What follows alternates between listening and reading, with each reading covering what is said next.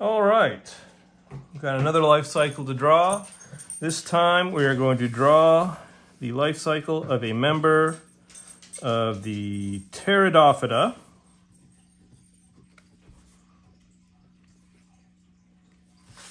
And the Pteridophyta are um, a representative of the seedless vascular plants. So one of the first great big innovations in plant evolution was getting plumbing, in, internal plumbing. Uh, so having vascular tissue meant that um, you could be a bigger plant because you could move water from the ground up into your stems, so you're, you're and out into your leaves, which meant you could be much bigger. You didn't rely on having being close to the ground and having water right there around you. Um, but just like we didn't have seeds in the mosses, we don't have seeds in our seedless vascular plants. That's our next great innovation. So being seedless is actually a plesiomorphy, an ancestral condition, but being vascular is an apomorphy, a derived condition. So seedless vascular plants, um, just on their own, are a grade. They're a paraphyletic group, while the vascular plants altogether, including the seed plants, represent a clade, a, tr a true um, monophyletic group. All right, so the Pteridophyta are the true ferns. And there are some things that we call ferns that aren't really ferns, that are fern-like uh, including some other closely related phyla like the horsetail ferns and whisk ferns, but those are in separate phyla. Um, you probably are at least somewhat familiar with what a fern is. Okay, so something we see in the vascular plants is we go from being gametophyte dominant to being sporophyte dominant. And these two things, vascular plus sporophyte dominant, they always go together. Always go together. And that also means that they are diploid dominant. All right, so um, I'm going to start off by drawing a sporophyte down here. You might say that's not very exciting just yet, but wait, there's more. All right, so what I'm drawing down here at first are uh, a stem with, now we've got some uh, true roots, some actual vascularized roots. So first of all, this, this thing here, uh, which is typically underground, you might think, oh, that must be the root, but it's not. It's actually called a rhizome, which uh, anatomically is a stem. And these things here, for the first time, are roots. And Fern roots are considered to be adventitious, meaning they don't grow where we would necessarily expect them to be because they're growing off of this underground stem rather than just being the only underground tissues that we have. But the roots can draw up water through the tubes, run the water through the tubes that are in the stems and up into the leaves, which, you guessed it, also have tubes in them. Okay, so we've got this rhizome that is a stem. Uh, we've got, I'm to draw a young frond called a fiddlehead, which is a young leaf which expands by a process called circinate vernation. And circinate vernation means, in essence, that uh, it's a spiral and its growth and development um, will be essentially e an elongation of that spiral shape. Kind of like one of those party favor things that you blow into and they make a noise. Um, if they have a name, I don't know what it is. Party blowers, whatever. Anyway, uh, that's that's a fiddlehead, so called because it's spiral shaped. Kind of looks like the scroll on a violin or a fiddle. Okay, so now we're going to put in some a couple of uh, these leaves. And I'm not going to draw them in great detail just yet because uh, we'll do that later on. But what we've got here are these leaves. And the leaf of a fern is called a frond, F-R-O-N-D, um, which has this central axis called a rachis.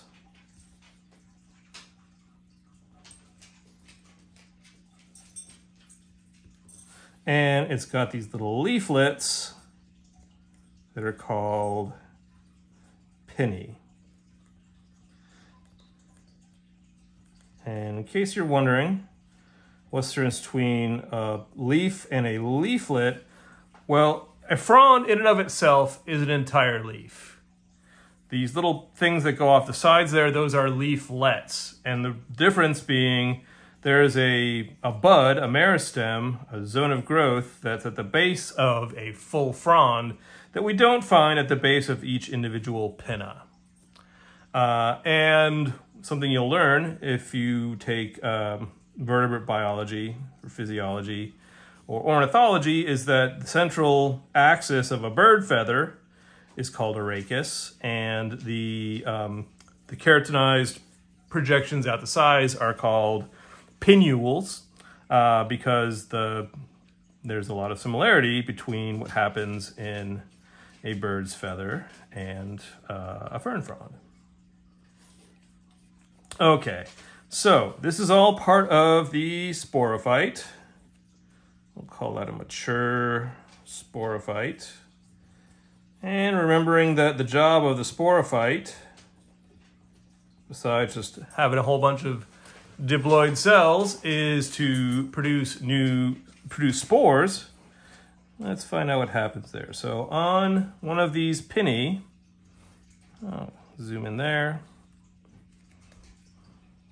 So we've got a rachis, and I'm going to draw, there's a pinna on that side and a pinna on that side.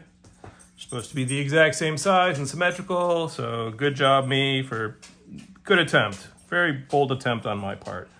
Not great, but the point's across, I think.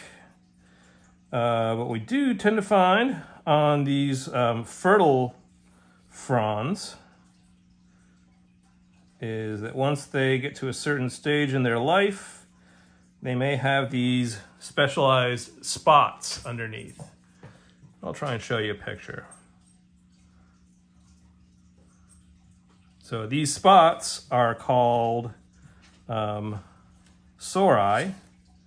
So just one sorus.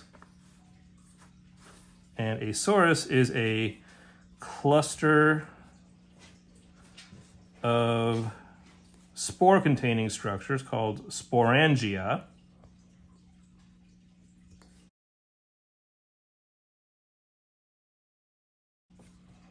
We'll zoom in on the sporangium in a little bit here. Um, and if we have more than one sorus, then we've got sori. That's a Latin word. Plural, sori, one sorus. So if we zoom in on a sorus, um, we'd see that there's a cluster of sporangia. And if we zoom in on one of those sporangia, it's going to kind of look like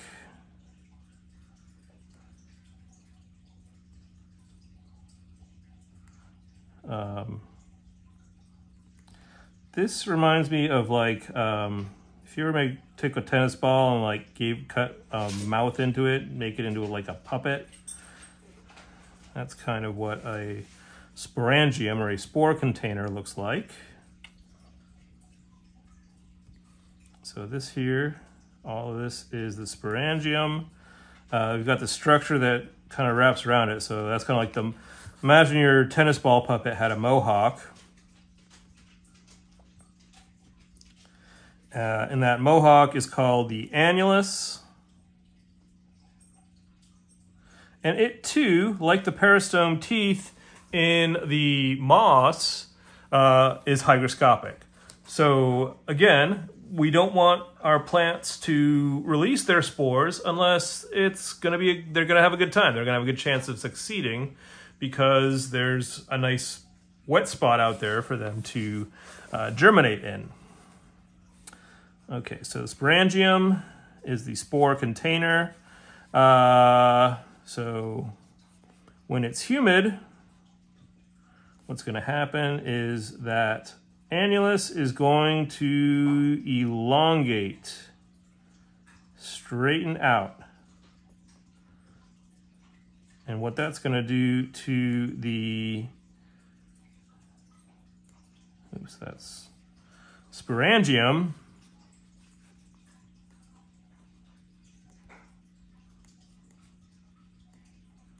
Let's write in humidity elongates, annulus, and it makes the sporangium open wide. Um, and inside of the sporangium, we're going to produce the spores by meiosis. So we're going to release the spores.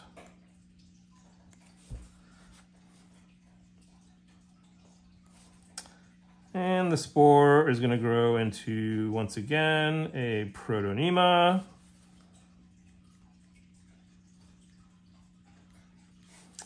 And that protonema, oops,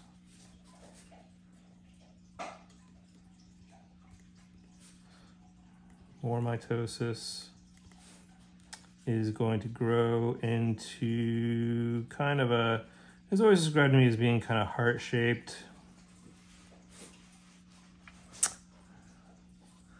So now we're in haploid land. Now we're in uh, gametophyte land.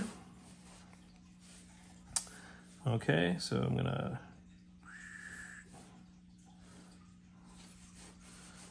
make it clear we're over in haploid land. This thing is called, the heart-shaped thing is called a prothallus, which is a bisexual gametophyte. Okay, and it's gonna have some, like on the gametophyte of the moss, it's going to have some rhizoids to anchor it to the ground. Uh, and then, okay, so we've got our heart-shaped thing. Up here, we're gonna draw some more of these kind of little um, These are gonna look, should look sort of familiar to what we saw uh, at the top of our female gametophytes, because those are Archegonia. They're found up in the cleft. Archegonia.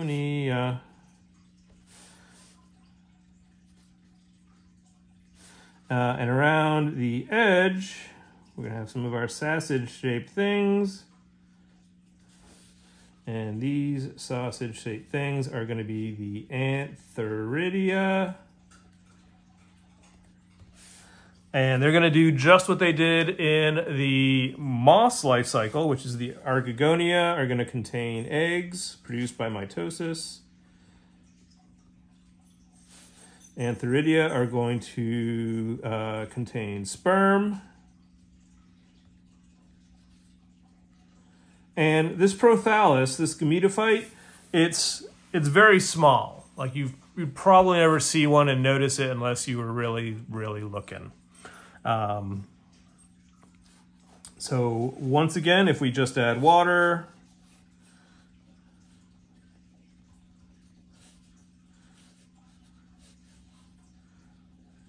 still kind of reliant on water to make our um, fertilization happen.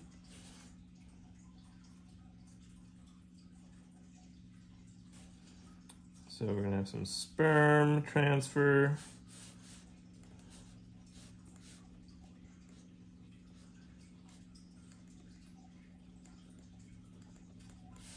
And that's going to lead to having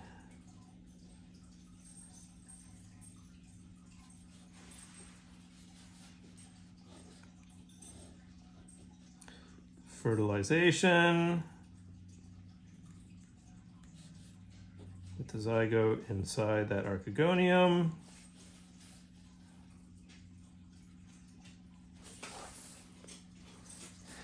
And then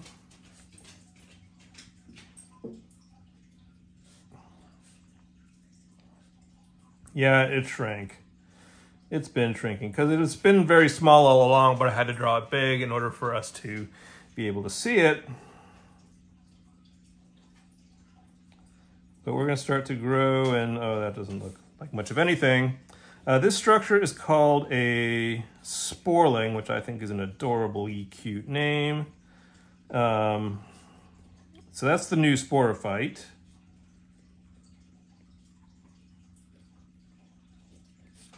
And that is going to grow